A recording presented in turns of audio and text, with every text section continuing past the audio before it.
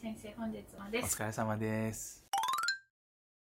ターで質問が来てるお願いします。はい、お答えします。はい、質問失礼いたします。昨日コンビニのトイレで使用済みのナプキンが落ちていたので拾って箱の中に入れたのですがその時にナプキンの赤くなっている部分が自分の手の傷口に触れてしまい少し濡れた感覚がありました。手は30分後家に着いてから洗いました。この場合梅毒や性病に感染する危険性はあるのでしょうか？手の傷口から性病に感染することはあるのでしょうか？ですはい。えー、っと、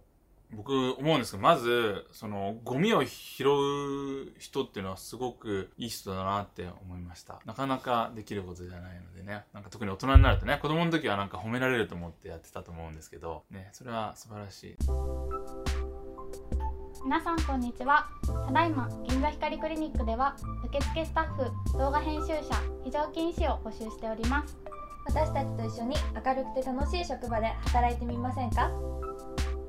で、えっと、やっぱりナプキンとかは、やっぱりあの手袋であの取ったりとかした方がいいなっていうのは、まあやっぱ思いますよね。でもまあそういう時は仕方ないと思います。トイレだって手袋ないんで、やっぱトイレットペーパーとかで取った方がいいかもしれません。で、まあ理論的にはおっしゃる通りで、まあ他人の血液から自分の傷口で、まああの感染するっていうのはあり得るので、もしちょっと気づいたらすぐに流水で洗うね。まああの、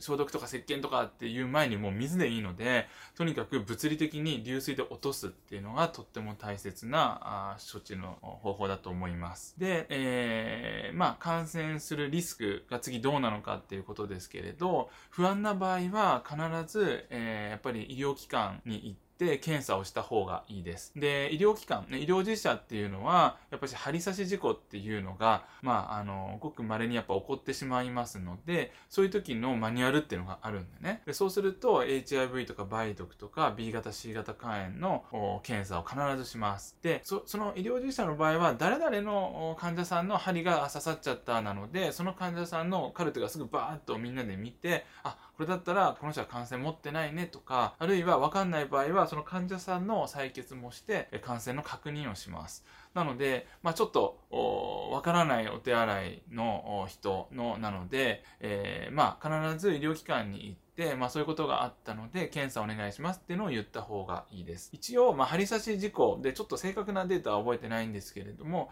感染する確率っていうのが0.0いくつとかで、まあ出ているので、それはまあちょっとホームページとかでググってもらえると、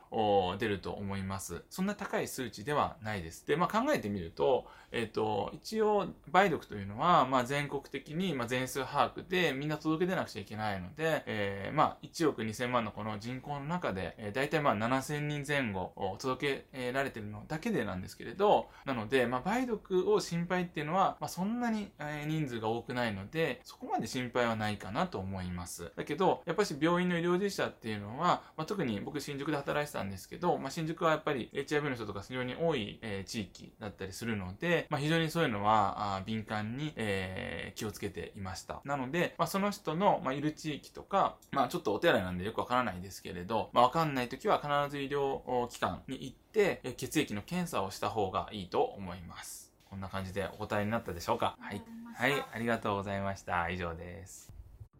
はい私、ツイッターの DM とかでコメントしてもらったら何でも答えますよってなってます。